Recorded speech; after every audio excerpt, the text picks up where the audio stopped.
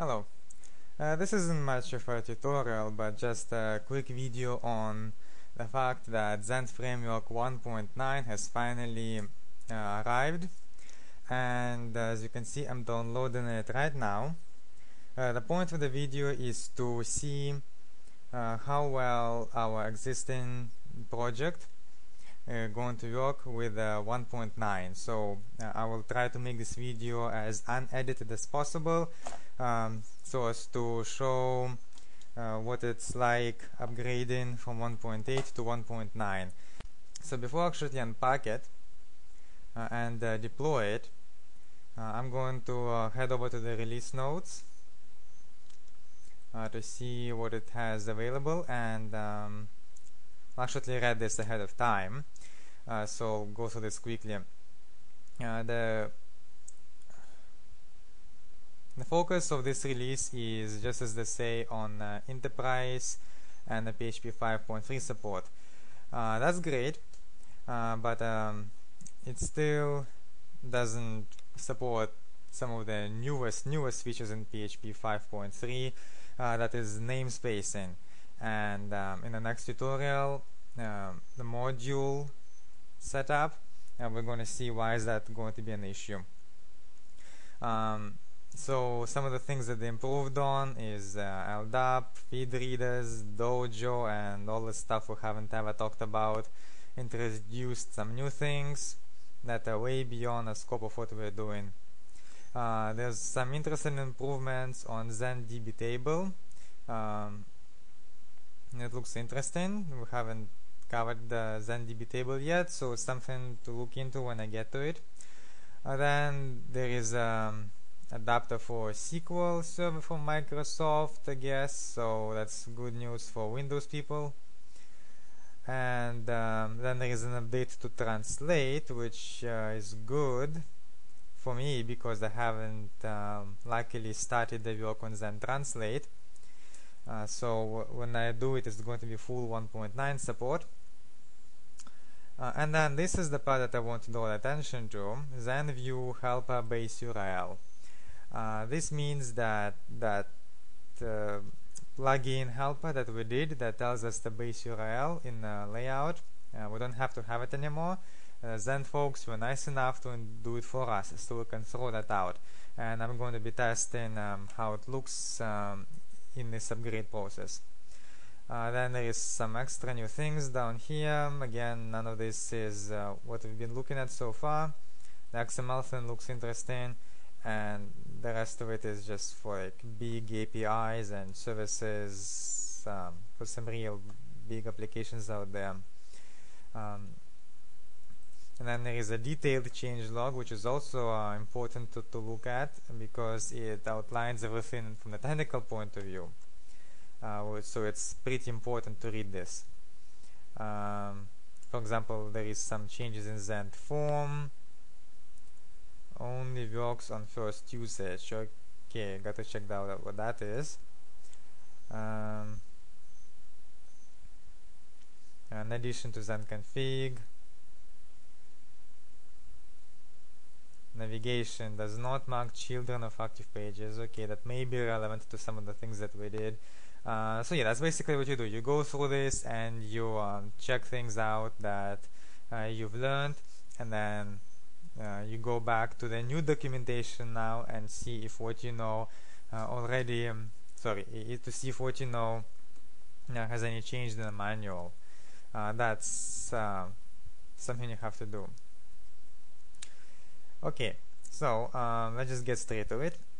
I should have downloaded everything there we go, Zend Framework 1.9 is downloaded and um, just a recap of how I have the setup here. Um, I have the Zend Framework uh, installed inside of the USR local on my Linux machine and Zend Framework CLI and I have a bunch of uh, Zend uh, projects going um, so obviously don't want a separate library for each one of them. That will make my hard drive pretty messy. And um, once I make any changes to this folder, all my projects get updated. Uh, so um, just to show you exactly what that means, if I go to um, right library here, right, see it's pointing to this directory here. Okay, so once I get it here, uh, once I replace the old one 1.8 just to show you that it is indeed 1.8 and just type in ZF um, yeah 1.84 alright so I'm going to navigate to this folder and I'm going to wipe out this directory here Zend framework CLI. I just want to start from scratch with 1.9 I'm going to take it out. So I'm going to um, remove that completely. Framework CLI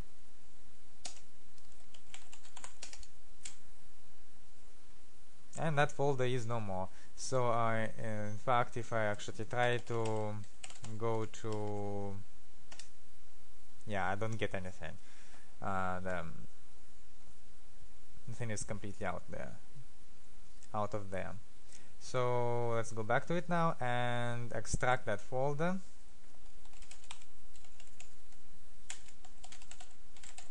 Okay that's too much to type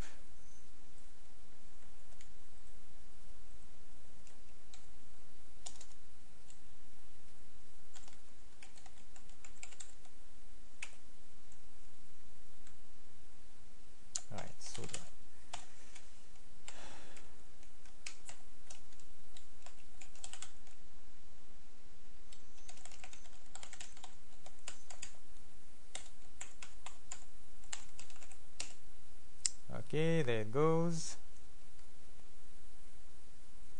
All extracted and uh, I'm just going to take uh, the 1.10.0 out of there so that uh, and put the CLI back in there because that's what it was called before and I want to keep the folder names the same so that I don't have to update any of my symlinks so I'm gonna move Zend frame work 1.9.0 to Zend frame work CLI I think it was it changed okay so it all looks the same and let's see if that ZF got updated yep we're now looking at ZF 1.9.0 great Let's now look at our project. Great, it actually still works. Wonderful. So let's just try some of the things that we did before. Okay, I can still log in. I can still browse the lists. Uh, I can log out. Probe. Pass 2. Okay. Uh, controllers, action, navigation, uh, database all seem to be working fine oh yeah uh, as I said before the base URL uh, was added and is now part of the library so we do not want that view helper anymore. So as a reminder this is what we did in order to get um, this guy to work.